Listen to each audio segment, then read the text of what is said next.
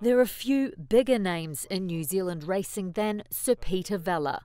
He's bred and raced some of New Zealand's greatest champions, but his affection for the horse extends well beyond the racetrack. We thought we'd show you some of the yearlings and some of the horses that keep them company. Uh, you'll see a lot of these sort of old th things that you'll wonder what on earth they're doing, but they all serve a wonderful purpose and, uh, and enjoy their retirement. Okay, so here's uh, first, uh, first off, there's uh, one of the yearlings that we're preparing for the sale. And uh, this is a mare that Laurie Laxon trained for us. She won the Thousand Guineas. She's about 27 or, or so now, but she's as uh, healthy and mobile as she was uh, 24 years ago when she won the Thousand Guineas. She's a lovely mare. She always has something under her care and uh, looks forward to the feed bin as much now as she did as a racehorse. So what does that care entail? How does she provide that? Well, if you put two yearlings in together, they're going to race each other until one of them has an accident. They can't resist it. She'll bring a little bit of sense and sensibility. And whilst she was just as silly as a foal yearling, uh, two-year-old and three-year-old, um, she's she's just grown up here now. She's uh, um, if there's a sudden thunder or lightning storm, they just bring a sense of uh, security to, to them. It's not just mares that we use as the guardians. We've got old racehorses that have been, you know, raced in Australia, Singapore, all over and, and come home and uh, we find a, a, use for them.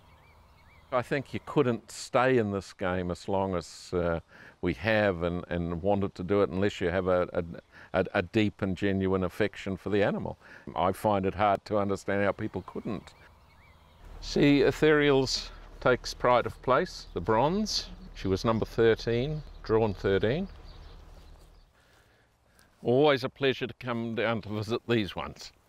This we have the matriarch of the farm, the mighty Ethereal, born 1997, 22 this year, and uh, very happy in her retirement as you can see.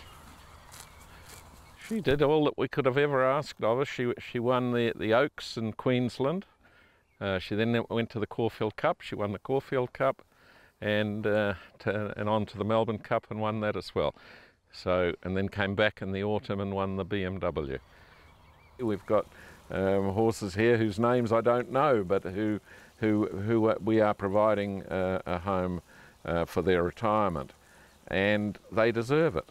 And I'm sure that there are thousands like us that do exactly the same thing. This mare, she's the oldest mare on the farm. She was born here 30 years ago. Uh, she left here and went and raced in Australia. David Hayes trained her. She won a couple over there. Called Karen Bell. She's been a broodmare. She's retired from that. She's come home and she's now a nursemaid for those foals that have been reared by the bottle rather than on a nurse mare. Uh, her job is just to, to be motherly and, uh, and maternal to them. She, she's just looking her age a little, but when you're 30 and a, and a mare that's had a full career, I think she looks marvellous. There has been a, a little bit of chat recently around the use of the crop or the whip, which depending on how you like to phrase it. What's your view on that? I'd be very happy without it. Um, I'd be very happy. The, the whip has to be carried by a rider from the issue of safety, um, and that is um, unequivocal. But I think racing, the best horse will win every time um, if they don't get a flogging in the process. I'm sure of it. It's changing, everything's changing. We need to change with it. There is nothing more certain in racing in the world than it will be banned at some time. Going forward, what would you like to see for racing in New Zealand? I'd like to see more and more people get to enjoy this wonderful game like I have. I think it can happen. Uh, we have to help and we have to um, Uh, all put our shoulder to the wheel and, and it can happen.